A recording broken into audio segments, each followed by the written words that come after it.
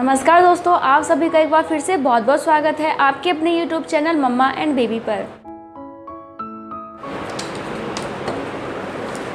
दोस्तों, मुझसे बहुत सारे लोग कमेंट करके यह पूछते हैं कि मैम, क्या हम ये पता लगा सकते हैं कि घर में लड़का या लड़की किस तरफ़ रहता है? यानी कि लड़का दाएँ तरफ़ रहता है या फिर बाएँ तरफ़ रहता है या फिर लड़की दाएँ तरफ़ रहती है या बाएँ तरफ़ रहती है? दोस्तों, यह सवाल मुझसे कई बार पूछा गया है, इसलिए मैंने सोचा कि मैं इस टॉपिक पर आप लोगों के लिए वीडियो बनाऊँ और आप लोगों को बताऊँ कि आखिर आखिर सच्चाई क्या है। तो मैं ये नहीं कहूँगी कि सभी लोग गलत होते हैं, बहुत लोग गलत होते हैं, जानबूझ के सिर्फ़ लड़का लड़का चाहते हैं, लड़की नहीं चाहते। कुछ लोगों के साथ क्या होता है कि उन्हें पहले लड़की हो चुकी होती है तो वो सोचते हैं एक लड़का हो जाए ताकि हमारी फैमिली कंप्लीट हो जाए।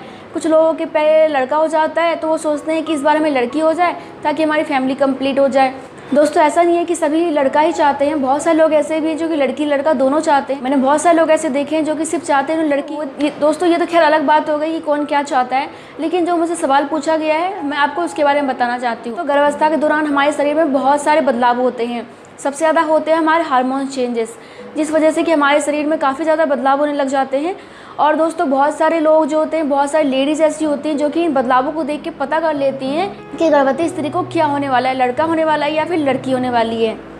और दोस्तों, कई बार ऐसा भी होता है कि उनका अनुमान भी ठीक हो जाता है। अगर मैं अपनी बात करूँ तो मुझे बहुत सारे लोग कहते थे कि आपको लड़का होगा, कुछ कहते थे लड़की भी होगी। दोस्तों, हम किसी को यह नहीं बता सकते हैं कि आने वाला बच्चा क्या होगा, लड़का होगी या लड़का होगा या फिर लड़की होगी, क्योंकि आपको पता है, इंडिया में ज़्यादातर लोग लड़की को ही चाहते हैं। इस वजह से जो है, भारत सरकार में इस बात पे कानून बनाया गया है, रोक लगाई गई है कि कोई भी इंसान जो है किसी तरीके से पता ना कर पाए कि होने वाला बच्चा क्या है। तो ये बात तो आपको समझनी होगी। अगर आप चाहते हैं मैं आपको बता दूँ तो चलिए मैं बता देती हूँ, लोग कहते क्या हैं। लोगों का कहना ये होता है कि आपको अपने राइट साइड ज़्यादा भारीपन महसूस हो, या फिर आपका राइट साइड का पाँव जो है ज़्यादा भारी भारी लगे, या फिर आपका जो राइट साइड का हाथ है, वो ज़्यादा भारी भारी लगे तो इसका मतलब ये है कि आपको होने वाला बच्चा लड़का है। यानी कहने मतलब ये है कि अगर आपको लड़का होगा तो आपका हर कुछ जो है राइट साइड में ही होगा। सो गए आप राइट साइड आपका राइट साइड का पाँव उठेगा। आपको भारी भारी भी राइट साइड महसूस होगा। जो दिक्कतें आएँगी, वो राइट साइड आएँगी। ऐसा कहा जाता है। लेकिन दोस्तों, अगर मैं आपको सच्चाई बताऊँ तो ऐसा कुछ भी नहीं है। आप बोलोगे ऐसा क्यों? दोस्तों, क्योंकि देखिए, मैं खुद का अपना पर्सनल एक्सपीरियंस बताती हूँ, फिर आप ये मत कहना, कुछ लोग कहने लग जाते कि आप अपने बारे में क्यों बताते हो। तो मैं सिर्फ़ आपको इसलिए बताती हूँ क्योंकि मैं भी माँ बनी हूँ, मुझे भी एक्सपीरियंस है, इस वजह से मैं आपको बताती हूँ।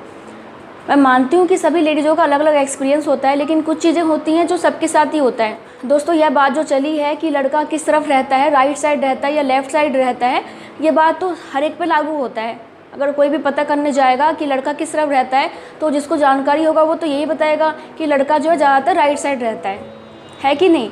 इसलिए मैं आपको अपना पर्सनल एक्सपीरियंस के बारे में बताना चाहती हूँ। मेरा जो पर्सनल एक्सपीरियंस है वो ये है कि देखिए, पता चला कि मैं प्रेग्नेंट हूँ तो आपको पता है ज़्यादातर हमारी सासू माँ होती हैं या फिर हमारी मम्मी होती हैं, बहुत सारी जो लेडीज़ होती हैं, वो ज़्यादातर लड़का चाहती हैं। आपको अच्छे से मालूम होगा, कोई ऐसी बात नहीं है कि मैं आपको गलत बोल रही हूँ, और लेडीज़ों पर पोते का ही दबाव होता है, सही बात तो यही है। लेकिन दोस्तों, आजकल के ज़माने में जो आजकल की जन, न्यू जनरेशन है, वो इन चीज़ों को ज़्यादा नहीं मानते। लेकिन पुराने लोग बहुत मानते थे। ये बात को आप भी मानते होंगे। तो क्या होता था कि मेरी जो मम्मी है या मेरी सासू माँ पूछती रहती थी तुम्हें किस टाइप कौन सा पैर उठाने का मन करता है पहले? तुम्हें बच्चा किस तरह फील होता है, वो होता है, फलाना होता है ढिकना होता है। मेरी मम्मी कहती थी, अगर तुम्हें राइट साइड सोने का ज़्यादा मन करता है तो इसका मतलब तुम्हें लड़का होगा। और मुझे बार बार पूछती थी कि, तुम्हें तुम्हें किस तरफ़ सोने का मन करता है? तुम्हें किस तरफ़ पैर उठाने का मन करता है? तो मैं कहती थी, मम्मी, ऐसा कुछ भी नहीं है किधर भी मन करता है। लेकिन कहती थी, अगर राइट साइड करें, उसका मतलब लड़का है। और मुझे पता था वो लड़का चाहती है। मैं कहती हाँ हाँ राइट साइड ही मन करता है, ताकि उनको ये ना लगे कि इसको राइट साइड मन नहीं कर रहा। हकीकत बात यह है कि मुझे ज़्यादातर बाएँ तरफ़ सोना पसंद था और मुझे जो बेबी अपना ज़्यादातर बाएँ तरफ़ फील होता था बाएँ तरफ़ क्या मुझे पूरे पेट में फील होता था। और आप पूछोगे ज़्यादा किधर फील होता था तो मुझे बाएँ तरफ़ होता था। जिस तरफ़ लोग ज़्यादातर लड़की बताते हैं कि लड़की होती है, उस तरफ़ मुझे ज़्यादा फील होता था, लेकिन मुझे लड़का हुआ। और मैं पैर कौन सा उठाती थी, मैं बिल्कुल ध्यान नहीं रखती थी, कभी भी ध्यान नहीं रखती थी। नॉर्मल जैसे हम चलते हैं, वैसे ही चलती थी। ऐसा नहीं था कि मैं दायां उठाती थी बायां। नॉर्मल जैसे हम चलते हैं, वैसे ही चलती थी मैं। दोस्तों, हमारी एक रिश्तेदार हैं, जिन्हें की दो लड़की हैं। मेरी बहुत खास है। ये हुआ कि जब उसे एक बार लड़की हो चुकी थी, पहले कोई बात नहीं, सभी को पहला बच्चा कुछ भी होता है, सब पसंद ही करते हैं।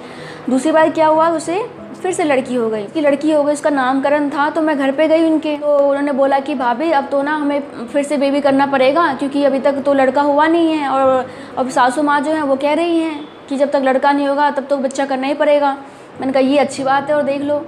बोले हाँ क्या कर सकते हैं? लड़का हो जाता तो फिर मैं ऑपरेशन करवा लेती, फिर और बच्चे नहीं करती। लेकिन अब यह कि मुझे फिर अब और करना पड़ेगा। मैंने कहा क्या कर सकते हैं इसमें हम और सासू माँ ऐसी होती हैं, आपको पता है, गाँव की जिन्हें समझ में कुछ बात आती नहीं, उन्हें बस पोता ही चाहिए होता है। उन्हें समझाने से कुछ फ़ायदा होता नहीं है। तो दोस्तों, फिर क्या हुआ कि मैंने उससे पूछा ऐसे ही। मैं जानना चाह रही थी कि उसके लक्षण क्या क्या मिलते हैं लड़का लड़की वाले। तो मैंने उससे पूछा तो अच्छा एक बात बताओ, तुम्हें जो पहला बच्चा था, तुम्हें वो किस तरह फील होता था?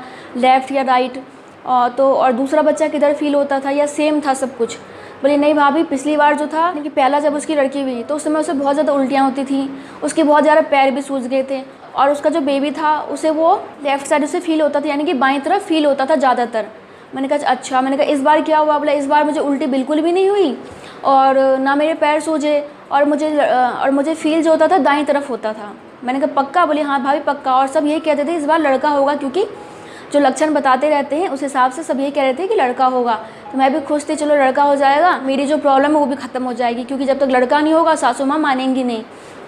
तो मैं भी खुश थी, चलो सब बता रहे हैं, लड़का होगा तो भगवान करे लड़का हो जाए। लेकिन देखो भाभी इस बार भी लड़की हो गई।